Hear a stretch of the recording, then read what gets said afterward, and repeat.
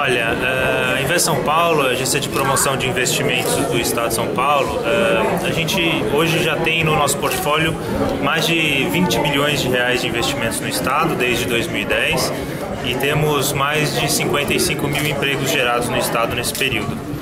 Aqui no caso da Airship, a gente tem um protocolo de, de um termo de confidencialidade assinado com a empresa. Nós assinamos esse termo de confidencialidade em outubro de 2001, eh, de 2000, desculpe, de 2013, 1 eh, de outubro de 2013, e este, este trabalho vem sendo eh, desenvolvido desde então.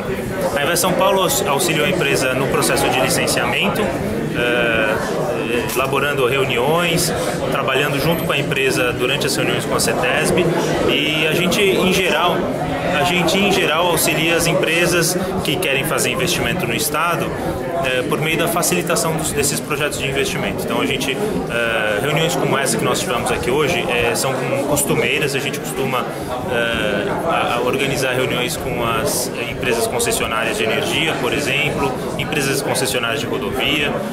Se a empresa porventura necessitar de financiamento, a gente faz a ponte com o BNDES também, com a Desenvolve São Paulo. Enfim, tudo que é necessário para que a empresa, primeiro, tome a decisão pelo Estado de São Paulo, que é o que nos importa, depois faça uma implementação rápida e, e bem sucedida do seu investimento e, claro, comece a operar. Uma agência de fomento.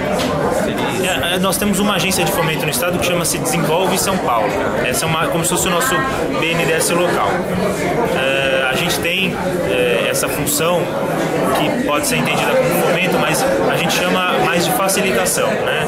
A gente promove o investimento do Estado no Estado e ajuda as empresas a se instalarem aqui. Dá para você quantificar os investimentos do Invest em São Paulo, aqui em São Carlos já?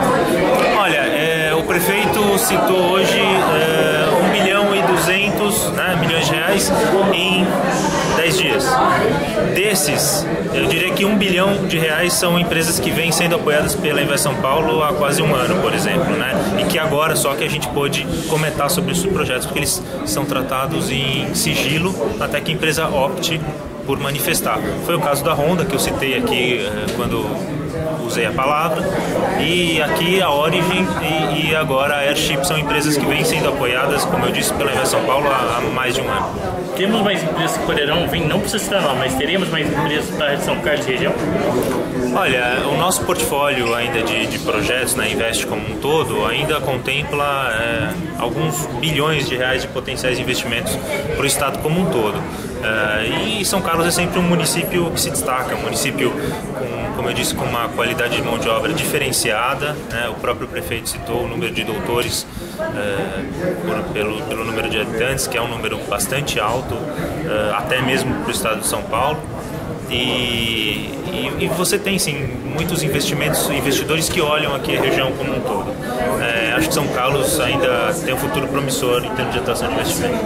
Panorama Geral com Antônio Walter Frujoelli, do Jornal DBC.